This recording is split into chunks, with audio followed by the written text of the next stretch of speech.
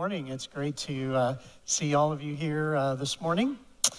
Uh, Psalm 9, 7, and 8 says, The Lord reigns forever.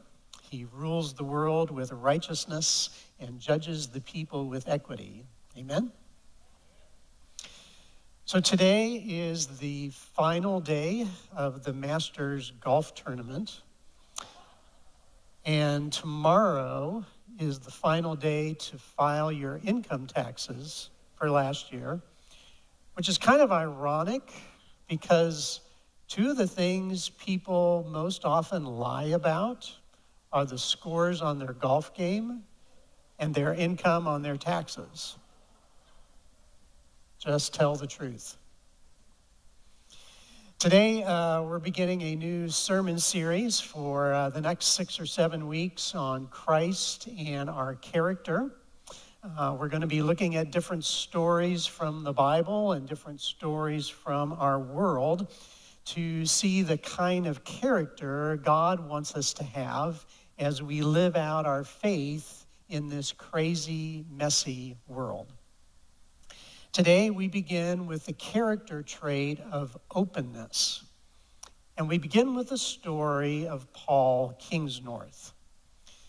Paul Kingsnorth is an award winning poet and novelist from Ireland. For many years, he was a campaigner for the environmental movement. In a conversation with the Archbishop of Canterbury, Rowan Williams, he described growing up in a home where religion was largely irrelevant. Exposure to school hymns and occasional visits to church during childhood gave way to a period of rebellious teenage atheism. But the flirtation with atheism was never very convincing. At the same time, he was mocking religion. He was a real lover of fantasy literature and a great believer in ghosts and the supernatural. He went on this fumbling spiritual quest. For a number of years, he practiced Zen Buddhism. But the focus there was only on looking within yourself and he wanted to look outward to worship something. So he got involved in witchcraft. And he tried worshiping nature, and he joined a Wiccan coven. Despite its claims to ancient origins, he found it was really just a New Age religion invented in the 60s. It was a mixture of goddess worship, mystery traditions, and occult teaching. He said, You mix it all together, and it's really just an excuse to worship nature in the woods. Something was still missing. In his professional life, he was becoming increasingly disillusioned with the corporate nature of the environmental movement. He felt it had been hijacked by technological industrialism that he had once opposed. He came to realize the limits of human power to save the planet, which ended up just making tyrants out of good people. He saw that nature needed a savior bigger than itself, and so did human beings. He said he was taken by surprise one night when his wife predicted he would become a Christian. But he knew she was more spiritually intelligent than he was. And he started to feel like he was being dragged out of Wicca. He said there are all sorts of strange forces at work in our world we are not aware of. He had been looking for God, and he found that Christ had come looking for him. He had gone looking for Buddhism and Wicca and witchcraft because he thought they fit how he viewed the world. And he didn't think Christianity fit his worldview at all. And he honestly didn't want to be a Christian. But he started having these strange experiences.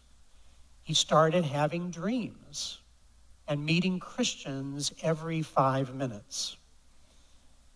He started running these writing schools and having these church vicars come to him and give him, his, give him their sermons and ask for his feedback.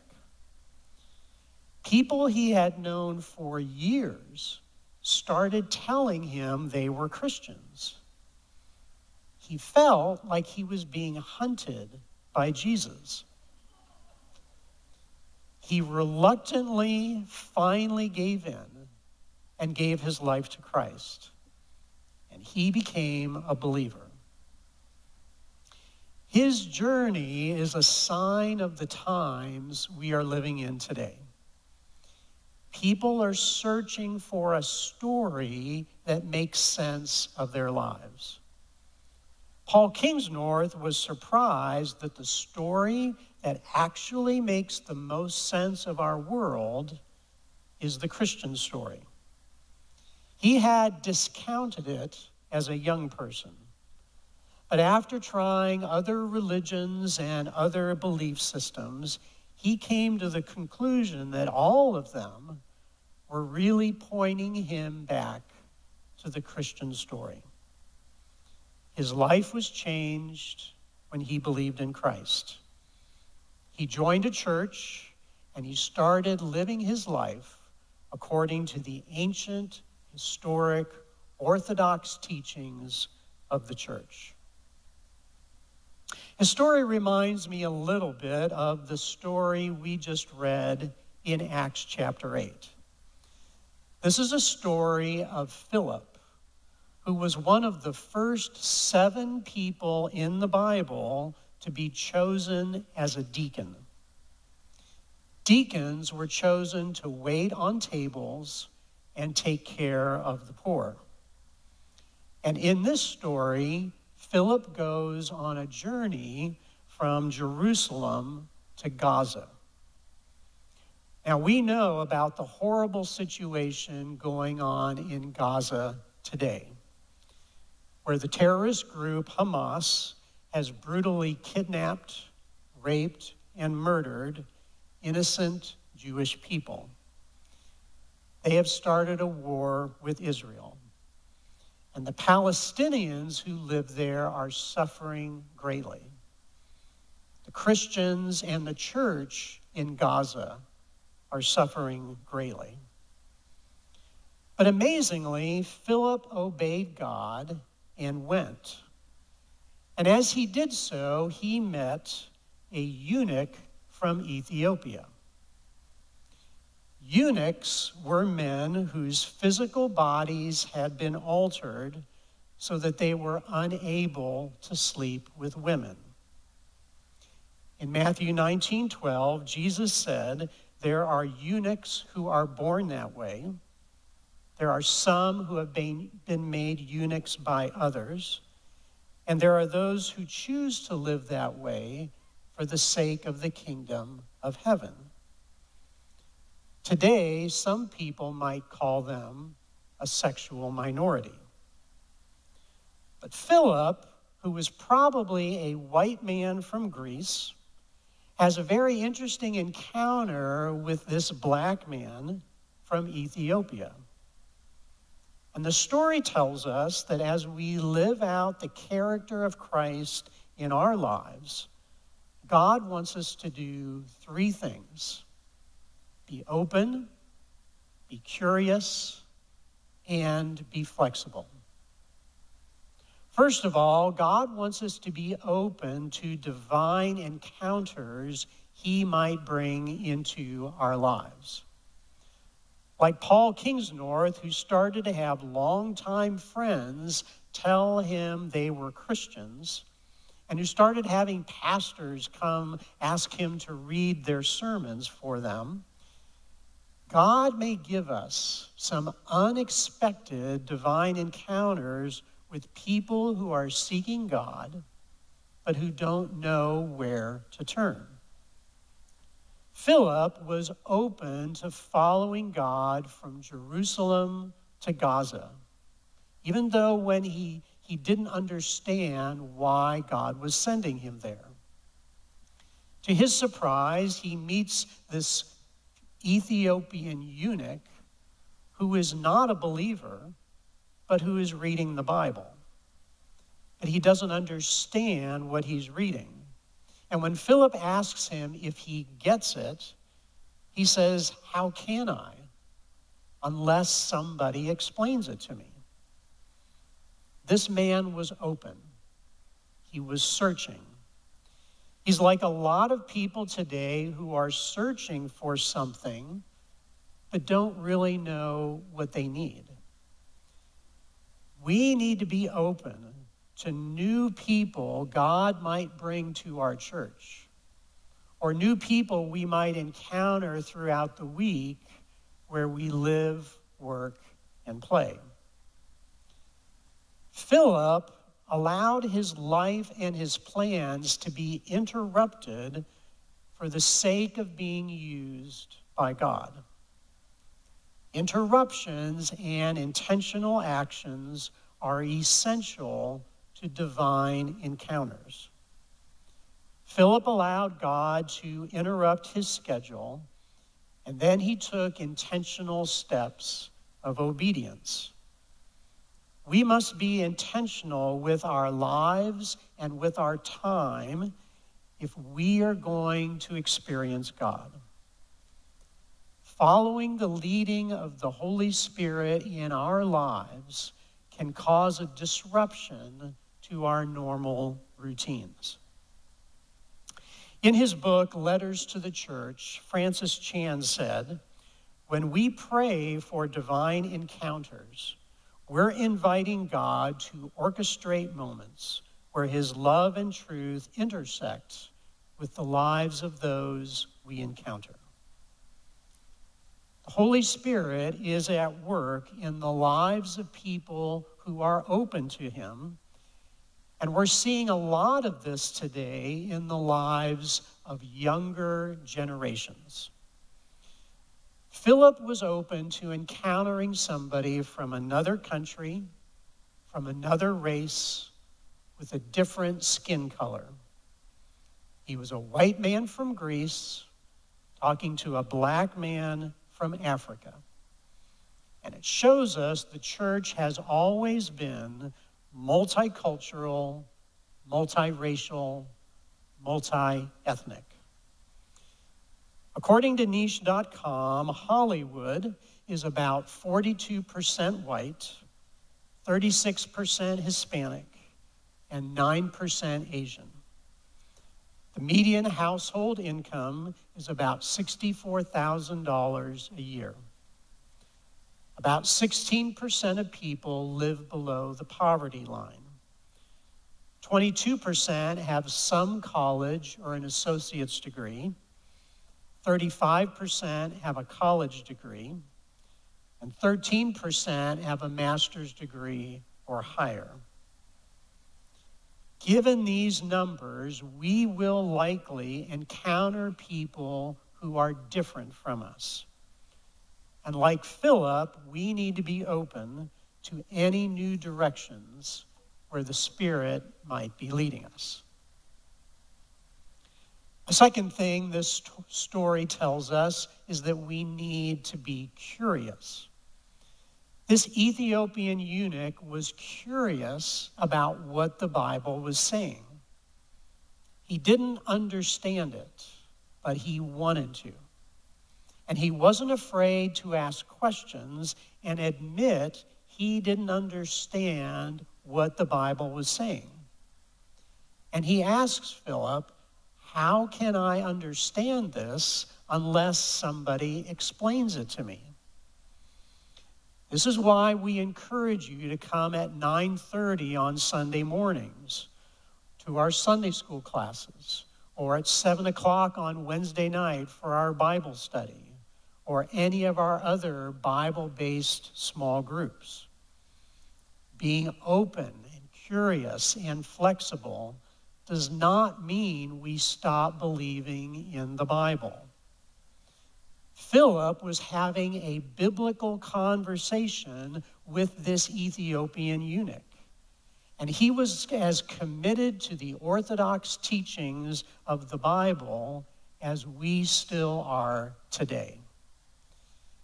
Being open and curious and flexible are biblical values that help us understand the scriptures better. Curiosity can deepen our relationship with God and lead us to spiritual maturity. And the more we learn from different Christian voices, the more we can understand God. Younger generations today are very curious. And the more we allow them to ask questions, and the more we aren't threatened by them, the more we can encourage their faith. What we refer to today as Gen Z are people born between 1997 and 2012. People who are now between the ages of 12 and 27. The researcher George Barna says 52% of Gen Z believes that doubt is a necessary part of life's journey, but not the end goal. He says that Gen Z are like other generations in that they feel comfortable in their beliefs, but a number of them want to keep digging deeper and learning more about what they believe. So, as a church, we want to nurture their curiosity and not shut it down. Eugene Cho, who is a pastor, author, and president CEO of Bread for the World, said that questions are a way to express our doubt and our faith. Our trust in God is not diminished by our questions. Richard Villodas, who's an author and pastor in Queens, New York, says that doubt is not the enemy of faith. It's the ground out of which faith often emerges. Doubt and faith are companions on the journey.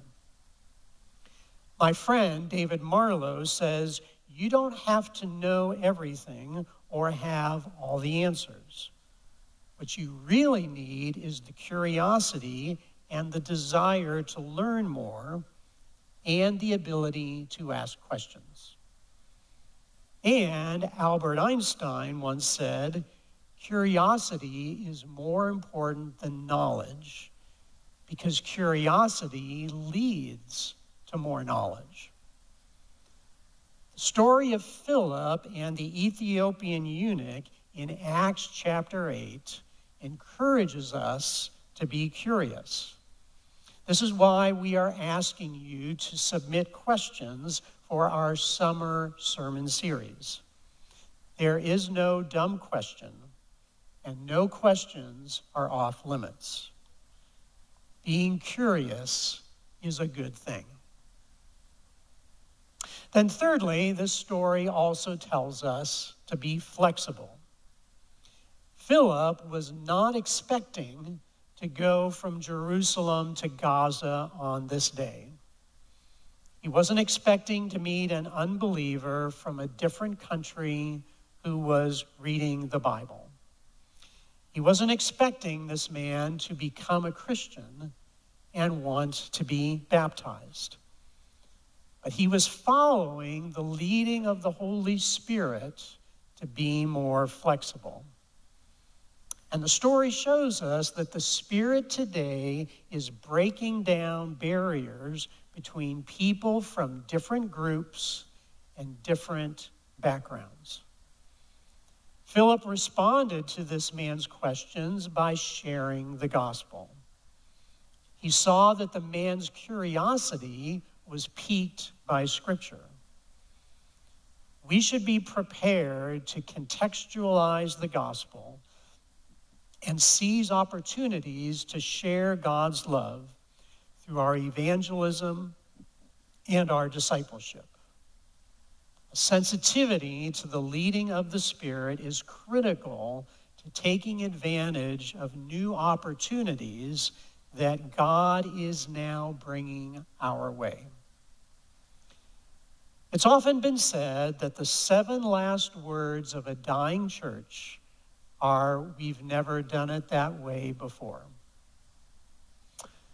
Sometimes we have to be more flexible. We need to understand the changing context of our ministry. So, according to Gallup, only 20% of Americans attend church every week. 41% of Americans say they attend church once a month. And 57% of Americans say they seldom or never attend religious services. Only 28% of adults in the LA area look to religion for guidance on right and wrong. Only 27% of adults in the LA metro area believe that there are absolute standards of right and wrong. But for all the declining numbers of Americans attending church, younger people today are actually starting to attend church more. According to Barna, since 2019, the percentage of millennials attending church once a week has increased from 21% to 39%. And most of this increase is with millennials who are not white. Younger generations are curious, and they seem to be coming back to church again. The question is can we as a church be flexible like the salt company of our earlier days to help younger generations who are looking for purpose and meaning and God? Are there ways we need to be more flexible in our ministry? How do we contextualize the gospel to the Hollywood, LA community that doesn't sacrifice the historic Orthodox beliefs of the church, but still becomes something that people of today can understand. After Philip baptized the Ethiopian eunuch, the book of Acts said that God whisked him away to the town of Azotus which was located about 30 miles away. That would be like if God picked you up here in Hollywood this morning and set you down in Anaheim or Malibu or Diamond Bar or Six Flags Magic Mountain. Philip continued to travel on and preach the gospel in all the towns he came to until he reached the city of Caesarea. Philip probably never saw this man ever again. He probably never knew what happened to him or what direction his life took after their divine encounter. All the book of Acts tells us is that this man went on his way rejoicing. His life was changed. He met Christ and he was baptized. And he went forward as a new creation. And from him, the good news of Christ probably started to spread across the continent of Africa. As we seek to be faithful to God and His Word in our time and place, God may bring us into contact with people like this Ethiopian eunuch. unbelievers from different countries, different races, and different cultures. God may bring us into contact with people like Paul Kingsnorth, who went on this journey from Buddhism to Wicca to Christianity. If you are on a journey this morning and you're still looking for purpose and meaning, and if you are still trying to figure out who God is, we would love to talk with you after the service this morning. For those of us who are Christians, God may lead you into some divine encounters with people who are different from you. And I think this story in Acts chapter 8 is telling us we need to be open, we need to be curious, and we need to be flexible.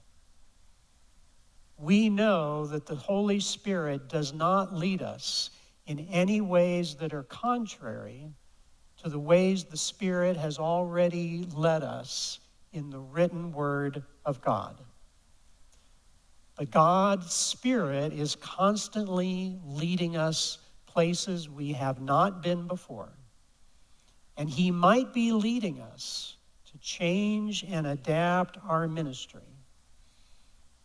What is it God might want us to be open and curious and flexible about? Let us pray together. Dear God, we thank you that you are such a creative God and that you are always working in people's hearts and minds that we are often not even aware of. Open our hearts and our minds and our eyes to see where you are at work and to be able to hear the new questions people around us are asking. And help us to be ready with your word to respond to people and to guide them to faith in you and how you can change all of our lives. And we pray these things in Jesus' name. Amen.